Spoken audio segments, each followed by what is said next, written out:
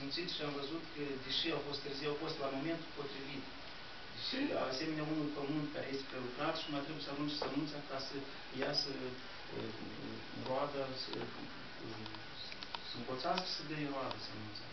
Așa am simțit și eu și uh, atunci când am intrat în rândul monachilor, din anii 93, 94, atunci practic era foarte, foarte complicat. Acum eu vorbesc multor ascultători care vin la mănăstire, zic că acum e foarte ușor, haine, practic, nu e o problemă ca să găsești. Atunci eu țin minte, prima dată, când mi-a dat cineva o pereche de metane, vă spun sincer, mă bucuram ca copilul cel mic și îmi vine să sară în sus așa cum sare ieduci primăvară. Da. Și uh, sara le punem în cui și mă uitam la dâns, nu, nu puteam să-mi să iau ochii.